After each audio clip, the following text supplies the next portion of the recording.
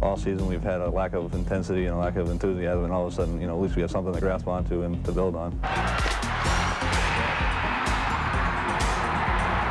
Just everywhere you go, every, all the hockey players you talk to, it's their dream to play in this tournament.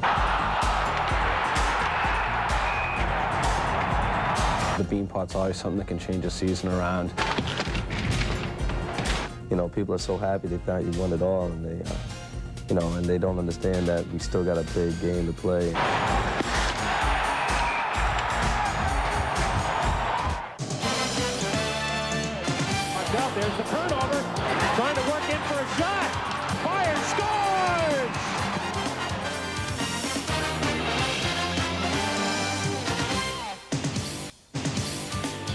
Nicknamed after dogs by their schools and picked as underdogs by hockey experts, Northeastern and Boston University both find themselves in the 47th Beanpot Championship. It's definitely a dog's life at the Fleet tonight. Hi again, everybody, and welcome inside the 68 Sports Studios. I'm John Holt. Hockey East Commissioner Joe Bertagna joins me later in the show to break down and analyze tonight's matchup. First, we set the scene from the Fleet Center, where Doug Brown is standing by. Thanks very much, John. We're all gearing up here at the Fleet Center, just minutes away from the opening face-off, the finals of the 47th annual Beanpot Championship. Tonight it'll be the Boston University Terriers against the Northeastern Huskies. For BU, a chance to do something no team has ever done in this tournament, win it five years in a row. For Northeastern, well, the last time they won this championship was back in 1988. This is only the second time they've been to the finals since then. Incidentally, it was 11 years ago tonight, February 8th, 1988, the last time the Huskies won this championship. They beat BU that night, but they have lost the last six meetings in the Beanpot tournament between these two teams. We're going to have all the action, of course, coming up for you here on 68 Sports, and we're happy to welcome back as one of our Beanpot 99 sponsors, the New England Mitsubishi dealers, and here representing all of the Mitsubishi dealers around New England is Len Leibowitz, the general manager of Danvers Mitsubishi. Len, very happy to have you here with us. Thanks, Doug. It's a real pleasure to be here tonight representing the New England Mitsubishi dealers. Uh, and tonight we will be presenting the Mitsubishi Scholarship Award to the championship uh, team in the amount of $2,500. So the uh, championship team tonight not only gets to skate around with the trophy, but they also get that check into the general scholarship fund, right? That's correct. That's All right. correct. Now I know you're a big college hockey fan, but do you kind of have to stay neutral in this Well, one tonight? We're, we're giving a, an award of uh, this type away uh, tonight. I have to uh, have to uh, be impartial. All right, we'll be watching you all night long. We'll have cameras on you. Make sure you're playing it down the middle. Okay, thank you. All right. Thanks very much, Len, and thanks to the New England Mitsubishi dealers as well. That's Len Leibowitz from Danvers Mitsubishi. Mike Eruzione will join me in a little bit, and we will have all the play-by-play of the finals of the 47th annual Beanpot Championship from the Fleet Center between BU and Northeastern, and of course all the post-game excitement as well, the skating around of the championship trophy, the presentation of the MVP, the Eberly Awards, all of that coming up tonight here on 68 Sports. We're looking forward to it. Hope you are too. We'll be back in a little bit. But right now, back to our 68 Sports studios. Here's John Holt. Thank you, Doug. We will see both you and Mike for Face Off. Now, if you missed any of the action from opening Monday last week, you missed just the third time ever that both games went into overtime, making for extra hockey and plenty of extra drama.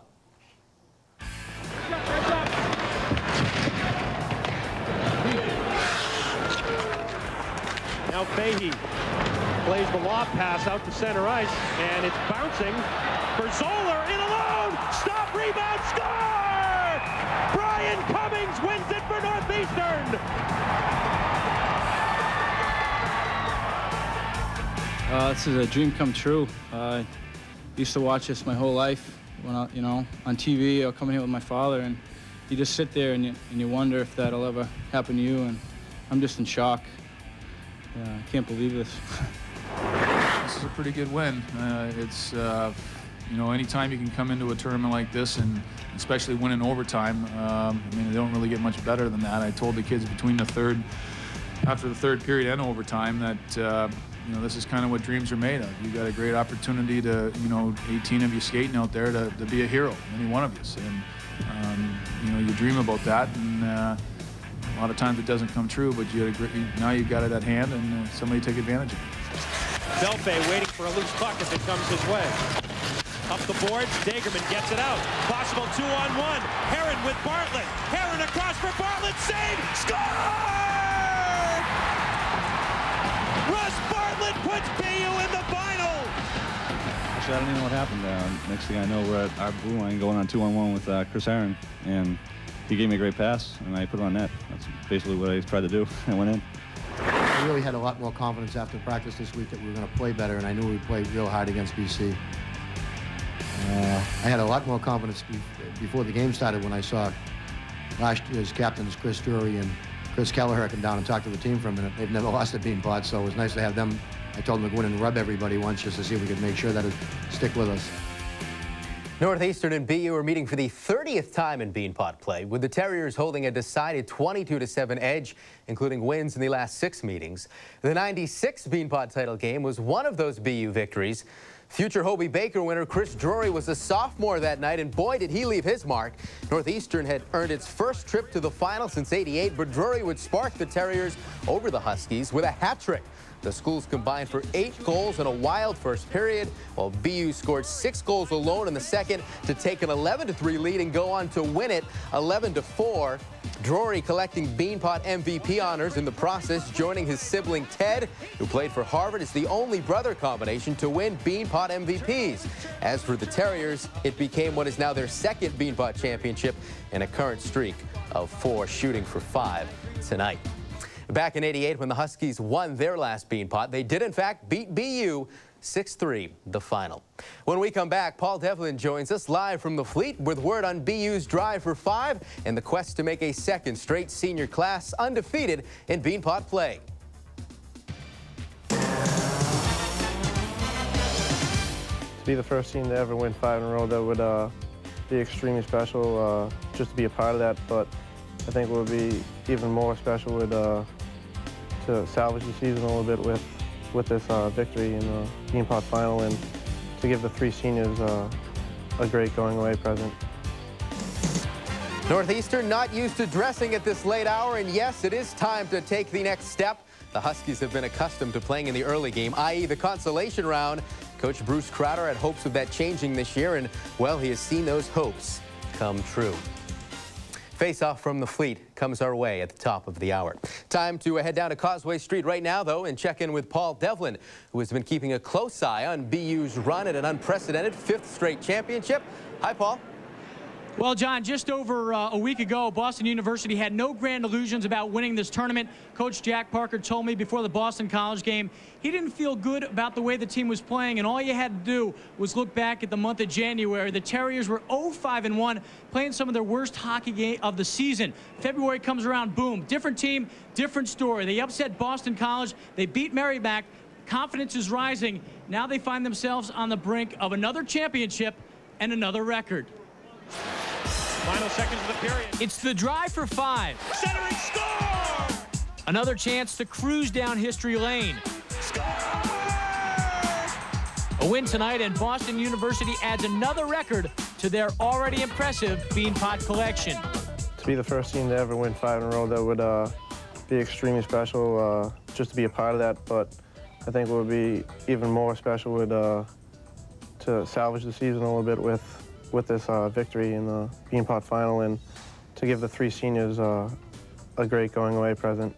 A victory sends Dan Ronan, Albie O'Connell, and Michel Larocque off with a fourth Beanpot trophy, a feat matched only by the senior class of a year ago. But this class is not interested in going away presents. They want to salvage a season that's been a disappointment. Uh, the Beanpot's always something that can change a season around. Uh, I think with BU teams traditionally that they come around this time, they really start to uh, come together, they put some wins together, and I think it definitely with uh, the way we've been playing of late, it, uh, it would mean a lot. It would um, you know, help make our season and help maybe propel us uh, to better things at the end of the year. Boston University heads into the championship game with one of the best and most experienced goalies in the country. Michel Larocque has been a four-year starter and has enjoyed a spectacular career but he has never been in goal for a Beanpot championship. And it's hard to imagine any senior wanting this one more than Larocque. Yeah, exactly. I've been, you know, behind Tom Noble there in the Beanpot finals. He's been playing for the last three years. And uh, now it's my chance, and I want to do the most out of it. Larocque and Boston University seek to avenge a January 17th loss to the Huskies. In that game, Northeastern peppered Larocque with 33 shots, beating him 3-1. Coach Jack Parker sees a Husky team that's a dangerous one. They play in their system real well. They're real disciplined. and they're a lot more talented than people understand. They, they're quick to the puck. They, they're physical when they have to be, but they're uh, they're pretty creative too. So I think, and they're creative in the power play. So they bring a lot of a lot to the table, and a lot that I don't think a lot of people want to give them credit for. They're they're a much better team than people realize. The Terriers may be the underdogs in this game, but they are still kings of the tournament. This will be their 15th final in the last 16 years. A perennial power, the Terriers know they won't be the most popular team in the building tonight. Um, you could sense it a little bit uh, on this past Monday night where uh, people were sensing that it, uh, it was time for BU to step down and give the throne to someone else. Um, it was weird to hear people booing BU, but uh, it'll be all right. I mean, I, I think kids uh, fed off that uh, that energy a little bit, and I think we'll enjoy people being against us. It's a lot of fun playing when there's not a lot of people that like you. They won't be favorites with the fans, but they will be favorites on the ice, and that's because of their home away from home advantage. They are 7-0 in the Beanpot tournament here at the Fleet Center. John? That only loss ever at the Fleet Center for BU coming in the Hockey East uh, playoffs. Paul, you've been around this team. How do you assess the confidence of BU? They slumped so badly in January. There's no question the confidence is rising, and you can look back to Friday's game against Lowell, a very uninspiring play. Four seniors were benched, four starters were benched, and that really turned things around. They upset Boston College. They played extremely well against Merrimack, and they have a red-hot goaltender in Michel Larocque coming into tonight's game. John? All right, Paul, thanks for the report. Well, fans in Terrier Nation have come to expect Beanpot championships. Those with allegiances to Northeastern have lived a much more tormented Beanpot life. To quote NU student newspaper this week, we are the Boston Red Sox of this tournament. Long droughts, heartbreaking losses. Of course, all that may be changing after a week at Northeastern like few others in recent seasons.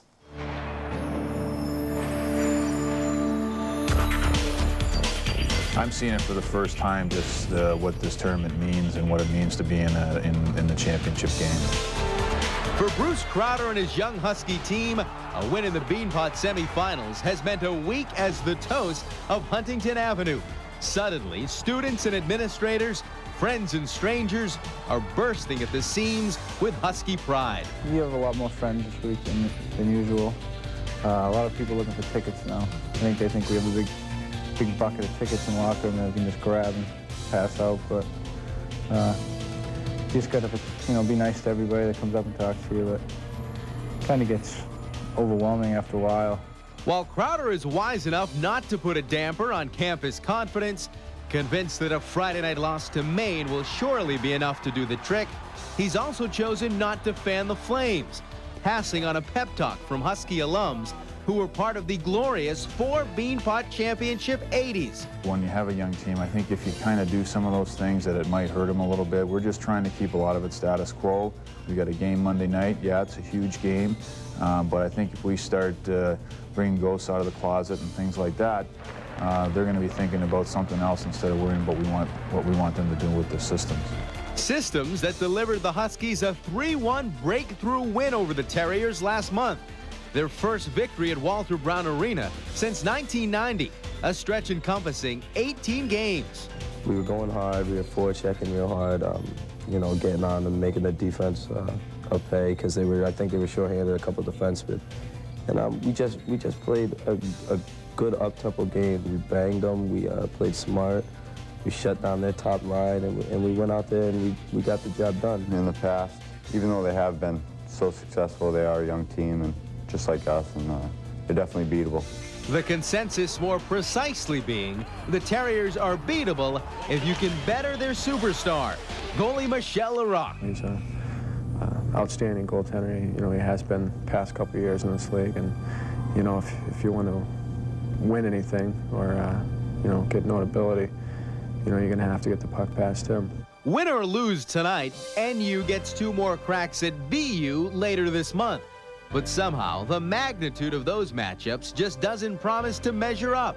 After all, Billy Newson could guarantee his sister a seat those nights. My sister called me up from Atlanta, she's like, I'm thinking about coming up.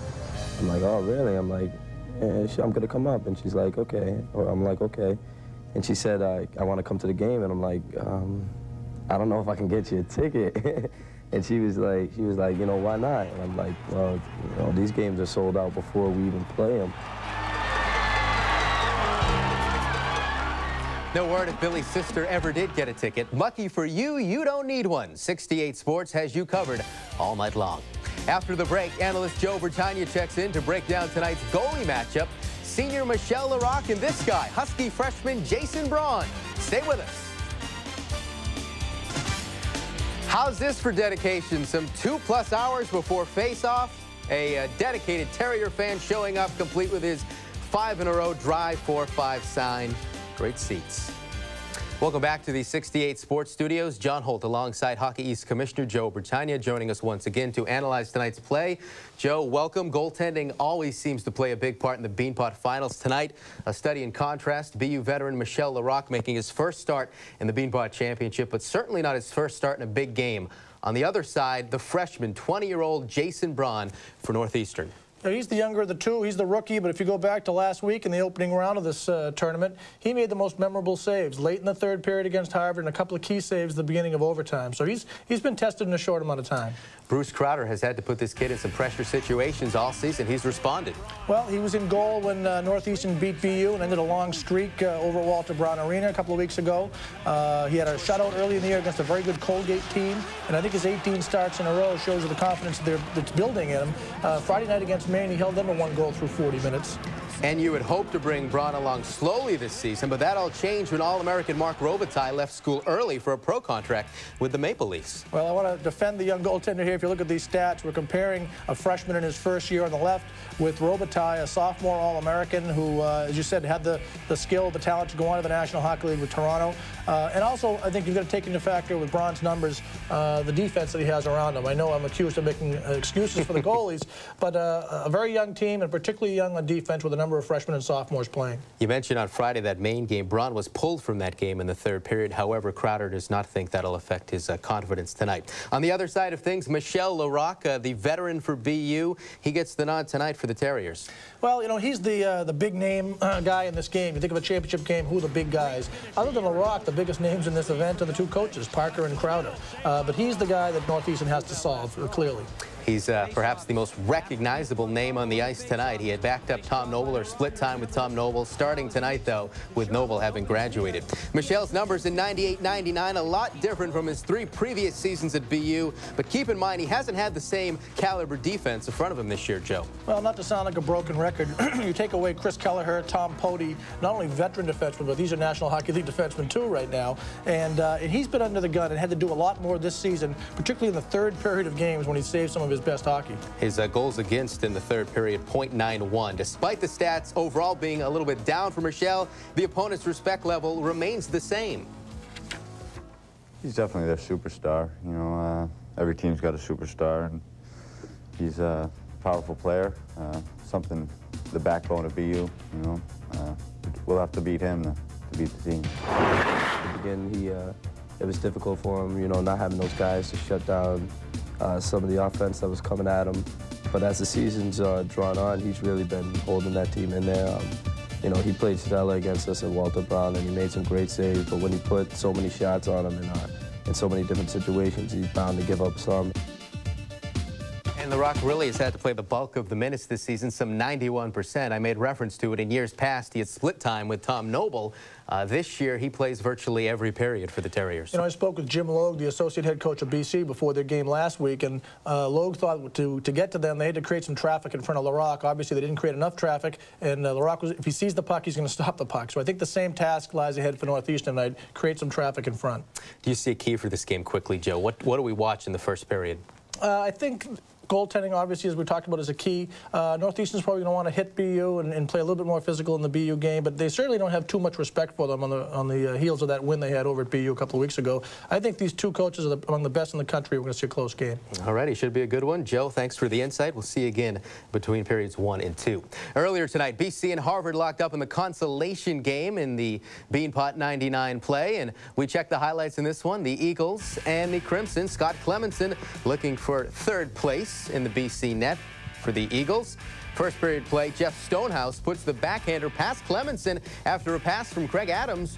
One zip Crimson ahead. They played in the final a year ago. Brian Johnson, the fabulous sophomore for the Eagles, ties the game at one, beating Oliver Jonas. Even Steven at one. Harvard on the three-on-two. Graham Morrell hits the trailer. Bryce Conklin, he fires it in 2-1. Crimson after one. BC now down 3-2 in the second period, and the puck bounces just right to Tony Hutchins. Tied game, three apiece. BC rallying back. Now we go to the third period. BC takes its first lead. Gionta knocks in the pass from Blake Bellefeuille. 4-3 Eagles. At this point, Hutchins is there for the lucky bounce again. His second goal 5-3 BC. Harvard got to within one, but Chris Masters knocked in an empty netter for the 6-4 win. That's the final. BC beating Harvard. Things getting a little bit scary, Joe, for BC, a team that was uh, preseason number one, but uh, struggling to win the consolation game. Well, they came back Friday night as well in a game against UMass Amherst. On, on paper, a mismatch with talent, but they're down four to one. Had to come back and win that in overtime. So they're, they're still looking for that stretch of wins one after another. What can we read into from Beanpot play for the rest of the season? BC struggled a bit in last year's Beanpot, lost, went on to play in the national championship game. Yeah, they had very similar record at this time of the year, but I think also last year BC had Marty Reasoner who got who got hot right around this time. Was almost a two-point a game player. They don't have that that one player, uh, so they're just gonna have to put it all together as a team. They certainly have the individual players, but as everybody knows, uh, great individuals don't always come together as a great team. Joe, thanks again. Alrighty, tonight's championship game starts in just a few minutes, and uh, be sure to uh, stay with 68 Sports between periods as Joe and I rejoin you for highlights and analysis. The game is next, though. Enjoy it.